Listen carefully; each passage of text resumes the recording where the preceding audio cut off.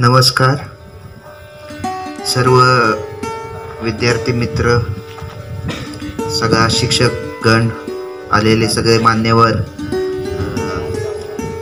ॲग्रीचे शरदचंद्रजी पवार कॉलेजचे सगळे जे सर लोक आलेले आहेत. त्या सगळ्यांचं आज सव्वीस जानेवारीच्या प्रजासत्ताक दिनानिमित्तच्या जमलेल्या सगळ्यांचं मी इथं स्वागत आणि कौतुक करतो. तसं मला माईकवर बोलायची सवय नाही आहे मी पण तुमच्यासारखा कायम खाली बसूनच बघायचा सवय असणारा माणूस आहे. आज आता पहिल्यांदाच मी अशा कार्यक्रमामध्ये बोलायचा प्रयत्न करणार आहे. आणि मला वाटतं तुम्ही सगळेजण जर काही चुकलं तर मला नक्की माफ करताल. तर तुमच्यातलाच एक असा समजून काही जर कमी जास्त झालं तर सांभाळून घ्या. आल्यापासून एक एक जण येऊन बोलत होते. काहींना भीती वाटत होती. तशीच भीती मलाही वाटते. सेम परिस्थितीतनं मी पण जातोय. थोडंसं आता सव्वीस जानेवारीबद्दल प्रजासत्ताक दिनाबद्दल शिवाजी महाराज आंबेडकर साहेब नंतर ए पी जे अब्दुल कलाम सगळ्यांबद्दल खूप चांगलं चांगलं बोललेत सगळे लोक येऊन. काही लोक थोडंसं घाबरत होते. मला वाटतं त्याच्यात घाबरण्यासारखं काही नाही आहे पण समोर माणसं असल्यानंतर माझ्यासारख्याचं सुद्धा तेच होतं तर. ते तर आता फार लहान लहान मुलं विद्यार्थी होते. मुळात आपण सगळे इथं जमलोय का? सव्वीस जानेवारीच्या दरवर्षीच्या कार्यक्रमाला आम्ही जायचो. फक्त काहीतरी बक्षीस किंवा बिस्किट पुडे चॉकलेट काहीतरी मिळणार म्हणून जायचो. दरवर्षी जायचो. आज शाळा संपून जवळपास आम्हाला दहा पंधरा वर्ष झालेत. तरीसुद्धा नगरच्या आमच्या शाळेमध्ये आम्ही जेव्हा जमल पंधरा ऑगस्ट सव्वीस जानेवारी कंपल्सरी जायचा प्रयत्न करतो. जरी बिस्किट नाही भेटलं काय नाही भेटलं तरी. कारण शाळेत असताना सव्वीस जानेवारी हे फक्त फॉर्मॅलिटी वाटते.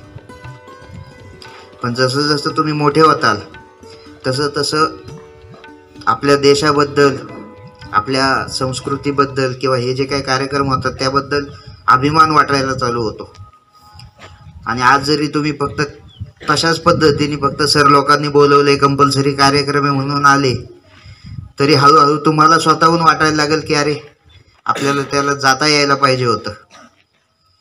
तर मी ते पाळत आलोय. लोणीला मला कधीच येणं जमलं नाही किंवा येता आलं नाही. बाकीचे कामं असायचे काही ना काही असायचं. पण आमच्या शाळेत मी वर्षातनं दोन्हीपैकी एक तरी प्रोग्राम कंपल्सरी अटेंड करतो. आणि मला वाटतं ही सवय तुम्ही सुद्धा सगळ्यांनी लावून घ्या की आपण तर समजा शाळेत असताना जबरदस्ती आलेलोच आहेत पण हळूहळू हळू पुढची जी पिढी घडणार आहे त्याच्यासाठी तुम्हाला पुढं योगदान द्यायचं आहे. आज तुम्ही इथं यावं म्हणून सर लोक जी मेहनत घेत आहेत किंवा तुम्ही स्टेजवर येऊन काहीतरी भाषण द्यावं गाणे म्हणावे डान्स करावा.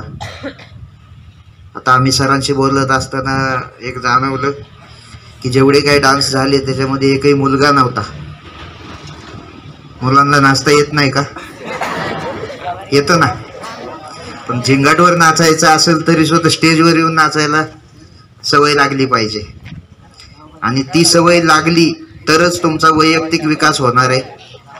तुम्ही तुमची पर्सनॅलिटी डेव्हलपमेंट जे म्हणतात समजा.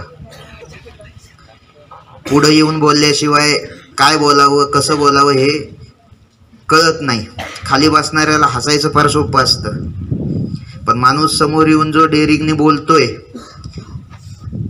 त्याला प्रोत्साहन द्यायला तुम्ही शिका. आणि ते प्रोत्साहन दिल्यानंतर त्या जागेवर आपण कधी उभं राहणार का? किंवा राहण्यासाठी काय करावं लागेल ह्याचा प्रयत्न करा. तर तुम्ही पुढे आयुष्यात मोठे होताना चांगले घडत जातात.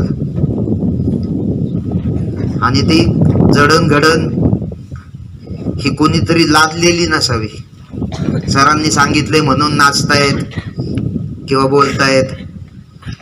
ज्यांचे कोणाचे भाषणं झाले मी सगळे काळजीपूर्वक ऐकले. माहिती खूप चांगली दिली. काही जणांचा बोलण्याचा पद्धत किंवा जो काय म्हणतात? एक पवित्रा उभा राहायचा पवित्रा असेल किंवा त्या शब्दांमध्ये जे वजन यायला पाहिजे फक्त पाठ करून बोलणं फार सोपं आहे. ते समजून घ्या. आणि समजून ते डिलिव्हर करा. समोरच्या लोकांच्या डोळ्यात डोळे घालून ते त्यांच्या मनात उतरवायचा प्रयत्न करा. तर तुम्हाला त्याच्यामध्ये आणखी चांगल्या पद्धतीने करायचं पद्धत कळतील. किंवा आणखी वेगळं काय करता येईल का ते कळेल. आणि सरांना मी बोलता बोलता मगाशी म्हटलं की आपल्याकडे अजून वार्षिक स्नेहसंमेलन होत नाही आपल्या शाळेमध्ये. बऱ्याचशा आता नगरमधल्या असतील किंवा बाकीच्या पण क- तालुका प्लेसच्या शाळांमध्ये संमेलन होतात सगळ्या गोष्टी होतात. तर मला वाटतं सर आपण ती पद्धत चालू करू. त्या निमित्ताने पुढे येऊन संमेलन करायचं म्हटल्यानंतर कार्यक्रम करावे लागतील. त्याची तयारी आत्तापासून करायला चालू करा. आपल्याला काय येतं आहे ज्याला जे येईल चांगलं ते त्यांनी पुढे येऊन सादरीकरण करता आलं पाहिजे. मग त्याच्यात कशा इम्प्रूव्हमेंट करायच्या त्यासाठी सर लोक बसलेलेच आहेत. आम्ही पण लागल जसं जसा वेळ होईल तसं इथं येऊन त्याचा प्रयत्न करू. सरांनी मग सांगितलं तसं. ॲक्च्युली मी सुद्धा आता हळूहळू महिन्यातनं एक तरी चक्कर इथं होईल याचा प्रयत्न करणार आहे. आणि त्याच्यात आणखी काय काय सुधारणा करता येतील आपल्याला? जेणेकरून आपल्या शाळेचं नाव फक्त तालुक्यातच नाही तर जिल्ह्यात सुद्धा कसं चांगलं चांगलं करता येईल तो आपण प्रयत्न करू. आणि त्याच्यासाठी तुम्हा सगळ्यांना मेहनत घ्यावी लागेल. आणि मानसिक तयारी करावं लागेल की बाबा आपल्याला पुढं काहीतरी करायचं आहे जिल्ह्यात नाव व्हायचं आहे तर जिल्ह्यातल्या कॉम्पिटिशन्समध्ये तुम्हाला भाग घ्यावा लागेल. चांगल्या पद्धतीने बोलता आलं पाहिजे. बऱ्याचशा काय म्हणतात त्याला? भाषणाची जी कॉम्पिटिशन असते वक्तृत्व वक्तृत्व स्पर्धा असतात. बघा मला शब्द पण येत नाहीत.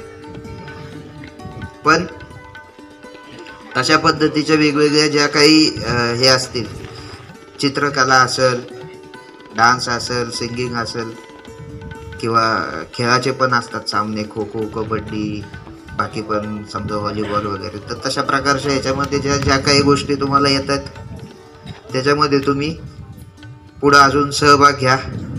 एखादी गोष्ट सर करत नसतील तर त्यांना जाऊन भेटा. सर आम्हाला हे पण करायचं आहे त्यासुद्धा सगळ्या आयडियाज आपण अंमलात आणू. बाकी आता अध्यक्ष आलेले आहेत. पुढचं भाषण ते करतील. मला बोलायची संधी दिली आणि मी थोडासा प्रयत्न केलाय ते तुम्ही सहन केली त्याबद्दल धन्यवाद.